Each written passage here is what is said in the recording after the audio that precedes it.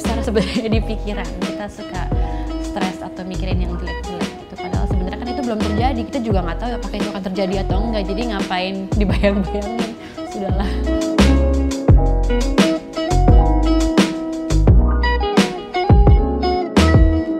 Dukungan keluarga besar ya oke lah. Maksudnya ya mereka sangat men- sangat eh, apa ya aku selalu kalau ketemu sama keluarga aku memang selalu cerita mengenai Zio tentang perkembangan Zio. Jadi mereka juga melihatnya apa eh, perkembangan Zio baik mereka sangat apa ya mereka sayang sama Zio. Jadi nggak ada pikiran-pikiran kayak itu itu anaknya kenapa? gitu. Enggak sih mereka semua sayang sama Zio.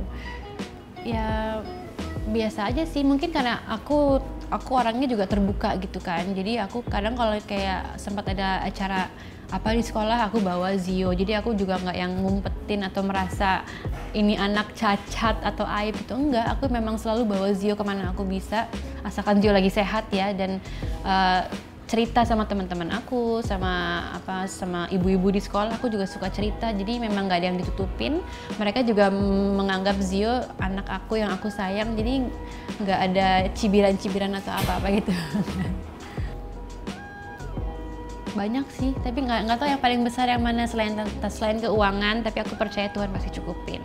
Terus eh, mungkin apa ya mungkin aku kadang suka ngebayangin sih nanti Zio kalau udah gede seperti apa gitu kan. Apakah eh, dia bisa jalan apakah dia akan pakai kursi roda sampai tua atau apakah dia nanti punya banyak temen suka pikiran-pikiran aneh kayak gitu. Cuman eh, aku nggak mau terlalu banyak mikir yang jelek-jelek gitu. Aku aku selalu sama suami suka perkataan perkatakan yang baik gitu. Oke Zio pasti akan jalan Zio pasti akan bertambah sehat lah gitu sih. Jadi emang eh, pertarungan terbesar sebenarnya di pikiran kita suka stres atau mikirin yang jelek-jelek gitu padahal sebenarnya kan itu belum terjadi kita juga nggak tahu apakah itu akan terjadi atau enggak jadi ngapain dibayang-bayangin sudahlah Iya, nggak tahu.